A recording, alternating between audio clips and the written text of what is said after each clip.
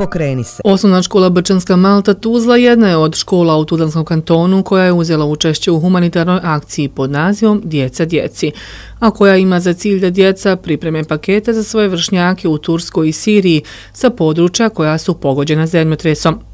Jasmin Salkić, defektolog u osnovnoj školi Brčanska Malta Tuzla. Djeca su se odmah odazvala, samim tim mi smo od početka razvijali empatiju prema, ovaj, prema drugoj djeci, odnosno kako pomoći drugima. Evo ovdje imamo, vidimo i pakete, neko je davao po jedan paket, neko i dva paketa, zavisno od svojih mogućnosti. E, paketi su formirani na osnovu spiska koje je Ministarstvo obrazovanja Eh, proslijedilo školama, tako da na svakom paketu eh, piše ovaj, eh, koja je dob, da li je za dječaka, za djevojčicu, tu su higijenske potrebštine, slatkiši, naravno pazio se i rok trajanja tih slatkiša, uh, igračke i sve ono što je potrebno za, za djecu određenog uzrasta. E, razvijanje empatije od samog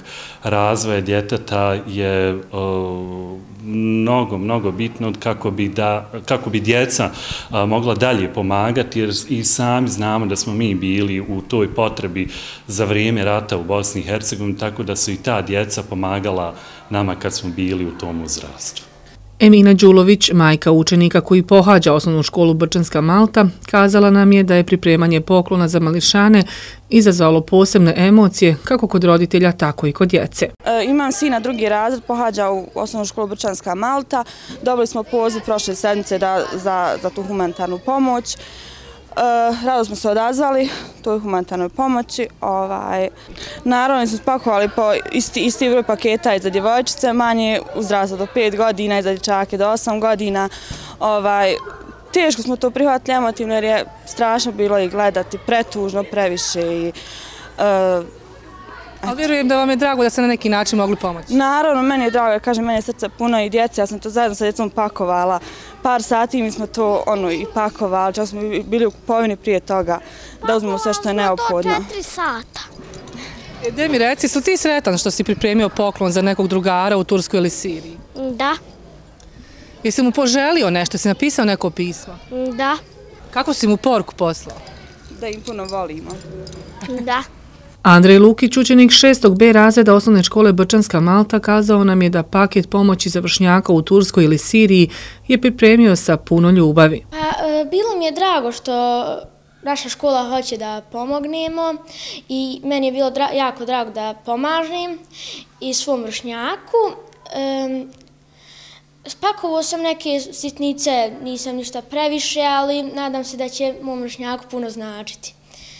Jesi li možda napisao i neko pismo? E, napisao sam poruku. Šta si mu poručio? E, e, sretno u budućnosti, sve najbolje, nadam se, e, poželio sam mu da je dobro, e, da se suosjećam sa njim i ostavio sam čak svoju mail adresu da možda nekad se čujemo.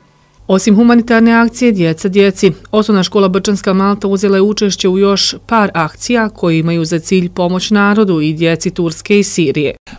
U organizaciji Filozofskog fakulteta Organizovali smo također akciju gdje je vijeće učenika osnovne škole Brčanska Malta organizovalo po, po rukovodstvu Filozofskog fakulteta na koji način pomagati djeci, tako da smo imali prvobitno tu akciju gdje su tu bile i higijenske potrebštine, također igračke, garderoba, a uključena je ujedno i lokalna zajednica gdje smo sve te pakete skupili i proslijedili do Filozofskog fakulteta. Evo imamo i u toku jednu akciju Merhameta Eh, gdje eh, prodajemo učenicima eh, markice koji su u vrijednosti jedne konvertibilne marke, tako da i na taj način ćemo uspjeti prikupiti novac i bar malim dijelom pomoći djeci i svim onim unesrećenim u Turskoj i Siriji. Učešće u akciji Djeca djeci uzela i Tuzlanska osnovna škola Jala. O detaljima govori Neđa Tanović, direktor pominute škole. U stvari to su oni paketi koji djeca djetetu šalje. Oni potrebšne koje oni koriste koji u tom dobu, tako su isto ovaj, poslali eh, ovim svojim vršnjacima u Turskoj i Siriji zaista mi kao država BiH smo pokazali u najtežim trenucima da pomažemo. Znamo nazad 30 godina kroz što smo, kroz kako smo mi Golgotu prošli, ratno stanje, ali evo pokazujemo i od najranijih doba, to jest od djece, da zaista imaju empatiju. Da mi ćemo da u toku današnjeg dana, sutrašnjeg dana još skupiti, sigurno će biti jedno, jedno 200 do 300 paketa koji učenik učeniku šalje. U humanitarnoj akciji učestvuje javna ustanova Naše dijete Tuzla za svih 11 vrtića, kaže Sanja Karić, direktorica javne ustanove Naše dijete. S obzirom na organizaciju ove aktivnosti Djeca djeci od strane e, Ministarstva obrazovanja i nauke Tuzlanskog kantona i naša javna ustanova za preškolski odgoj i obrazovanje Naše dijete je odlučila da vrlo rado uzme učešće i da se pridruži ovako jednoj humanitarnoj akciji. Mi smo roditelje informisali e, na kakav način bi dječica zajedno sa svojim roditeljima roditeljima trebala pripremiti paketiće za djecu eh, koja su evo pogođena zemljotresima u Turskoj i Siriji. I e, jako je dobar odziv. E, djeca su entuzijastična, roditelji također e, donose i po više paketića, dakle ne samo jedno po djetetu, nego nekoliko njih, e, što je stvarno pohvalno. I ono što evo mi apelujemo je da e, porodice, odnosno roditelji zajedno sa djecom formiraju te paketiće, da djeca osjete i od najranije dobi da se stvara empatija kod djece, osjećaj da trebaju da pomognu na kakav način e, da prenesu poruku odavdje djeci koja su evo, u jednoj tako teškoj situaciji, a što mnogi od nas smo iskusili i sami i e, dok smo bili djeca, pa evo često pričamo o tome kako smo i mi dobijali ovakve paketiće ovaj, ne tako davno i kako je lijepo uzvratiti zapravo jednom tako lijepom gestom. E, na svim našim vrtićima, u svih 11 vrtića je akcija još uvijek u toku.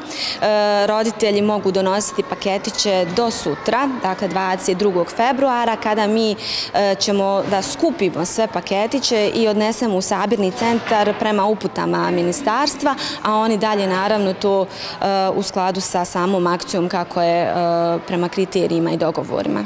Prema riječima ministra obrazovanja Tuzlanskog kantona Ahmeda Omerovića, Ideja za humanitarnu akciju Djeca djeci potekla je od roditelja, učenika i uposlenika u obrazovnim institucijama. E, nakon što se desio razorni zemljotres u regiji koja buhvata Republiku Tursku i Siriju, e, javile se razne inicijative od e, naših zaposlenika, direktora, roditelja, da se i u školskim ustanovama počne prikupljati neka vrsta pomoći za nastradale ljude u tom području.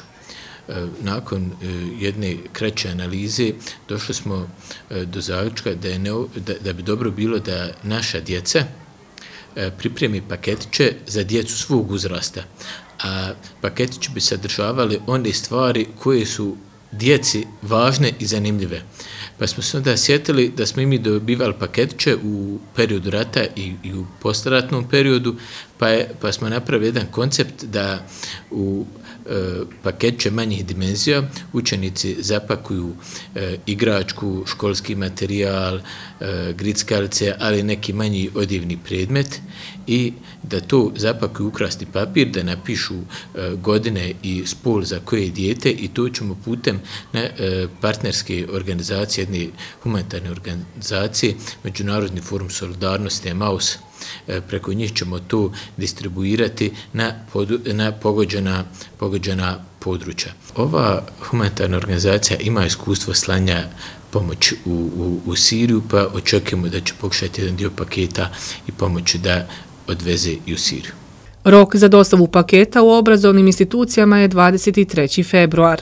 Nakon toga će aktiv direktora odrediti punktove sa koji, sa koji će biti preuzeti paketići i onda će zajedno u jednom e, konvoju sa drugim e, aktivnostima koji teku i gdje se prikuplja druga e, humanitarna pomoć, zajedno će konvoj krenuti prema Turskoj. Također, dozvolite da ovdje naglasim da sindikat e, provodi također svoju e, akciju gdje se na račun njihovog partnerskog sindikata može uplatiti pomoć i da i to također teče, teče jako uspješno.